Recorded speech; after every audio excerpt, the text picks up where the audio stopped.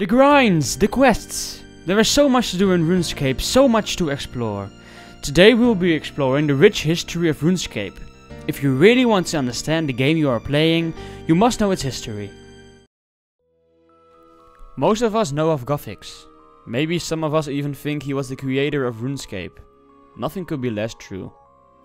Guthix talked about elder gods that created powerful artifacts, which he used to bring races and gods to Gielinor. The ones that actually created everything are called the Elder Gods. These are legendary and divine entities responsible for creating the planets and life in the universe. If we are talking about gods like Zamorak or Xeras, these stand far above them.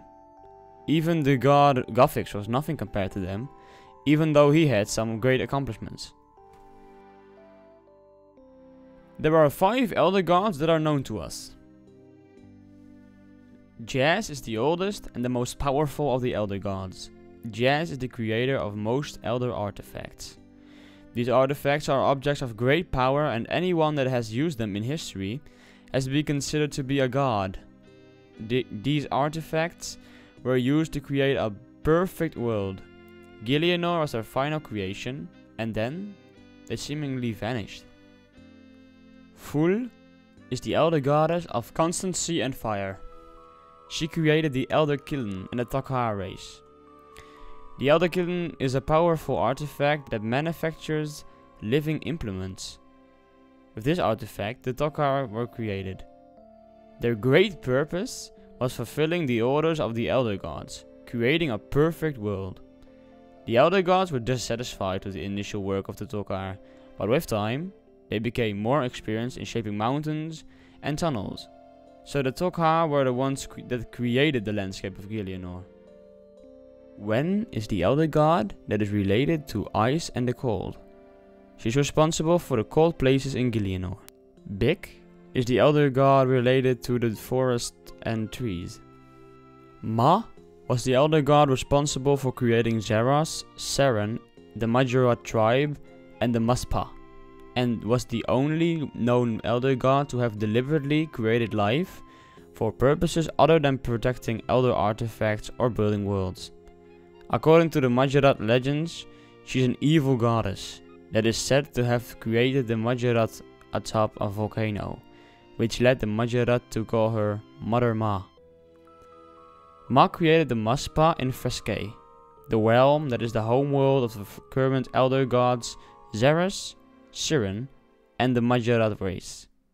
To understand more about Mah and Freneskae, we have to understand the cycles that the Elder Gods go through. In RuneScape, there is a multiverse with thousands of worlds. The Elder Gods try to create the perfect world and then retire for an unknown amount of time in the perfect planet. In Freneskae there were 5 eggs from which the current generations of Elder Gods Jas, Ful, Wen, Bik, and Mah would eventually hatch. When they did, the new Elder Gods drained Freneskae's Animi Mundi in order to nourish themselves.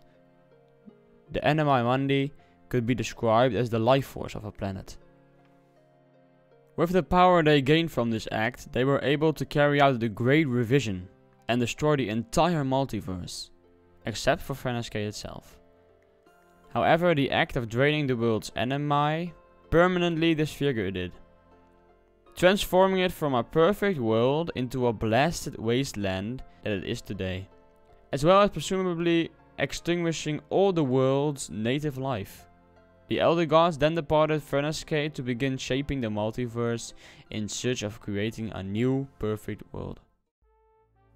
Something went wrong and Mah didn't get enough animi and appeared to be stillborn. The other four elder gods left her on Freneskae, believing her to be dead. Mah survived and took up residence on Freneskae, but never developed sentience or consciousness, only instinct. Her first instinct was to take what little divine energy she possessed and used it to create two beings to keep her company as playthings. These beings, the divine aspects of dark and light energy, both of which Mah symbolized, would come to be known as Xeras and Seren respectively. Mah often had nightmares, during which she would unconsciously create other forms of life.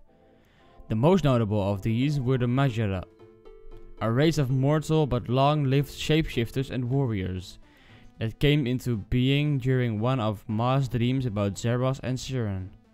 The Mahjarrat lived a very harsh and dangerous life on Freneskae, never numbering more than a few hundred at a time, and at several points nearly going extinct, and came to worship Mother Mah as their creator god. The Elder Gods created powerful artifacts that now reside on Gielinor. The catalyst, commonly known as the Stone of Jas, was one of the better known artifacts. It was the most powerful and the first one created. It expresses the power of its creator, Jas, the elder goddess of progression. She used it to create most other artifacts, aside from the Elder Kiln, the Measure, and possibly others. But not specifically a weapon, it grants its users part of its immense power.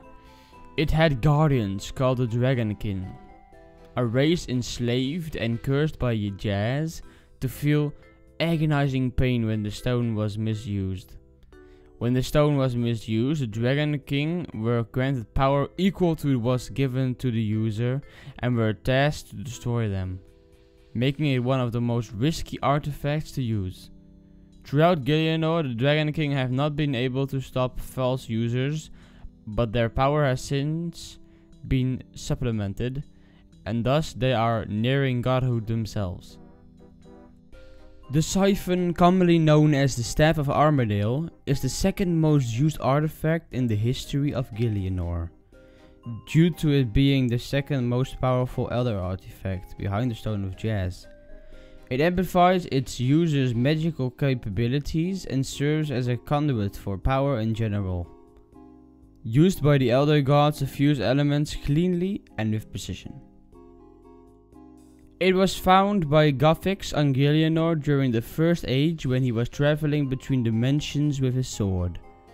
Guthix hid it before sleeping in the middle of the perfect world to let mortals enjoy a world without gods. It was found again by Armadyl during the Second Age and became known as the Staff of Armadyl. His followers adapted the symbol from the staff. Notable users of the staff include Zamorak, Lucien, and Sliske. The kiln, commonly known as the Elder Kiln, is both an Elder artifact and a means of creating artifacts. And the artifacts it creates are considered to be the same artifact as the kiln. The most well known of these creatures are the TzHaar and the mysterious statues. The TzHaar consider themselves to be elder artifacts, but it is debatable whether the elder gods would agree with this. The Kiln was created by the elder goddess Ful on a planet different from Gielinor, while the elder gods attempted to create the perfect world. They failed numerous times, and Ful would take the Kiln and the TzHaar to the next project each time. When the work on Gielinor was done, the TzHaar built a great mountain around the Elder Kiln and returned to live within it to await further instructions. According to the TzHaar, younger gods are beings that abuse the artifacts of the elder gods in order to gain a massive amount of power. To date, the TzHaar are also the only known sentient artifacts, instead of just being an object. When a TzHaar dies, they return to lava. Anything else that falls into the sacred lava is resurrected as TzHaar as well.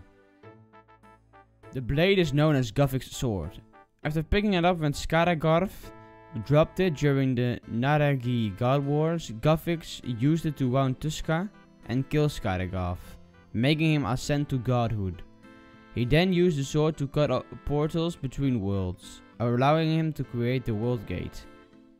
The Elder Sword currently lies shattered in Guthix's cave, too dangerous to be used and still crankling with energy. The locator, known as the Crown Archival, is an artifact that enables the user to locate all the other artifacts, but also enables the users of these other artifacts to locate the crown in return, making it one of the most useful and risky artifacts to be used.